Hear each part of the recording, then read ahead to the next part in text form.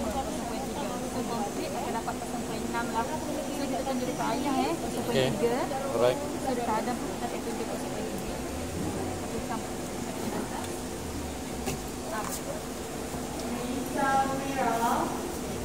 Okay, tips saya nak bagi sakit, kena relax. Jangan stress kan otak eh. Anggap macam biasa je. Relax je. Kalau jarum masuk,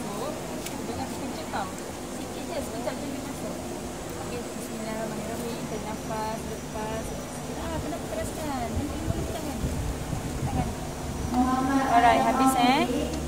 Sakit sikit tau sebab awak teraskan tadi.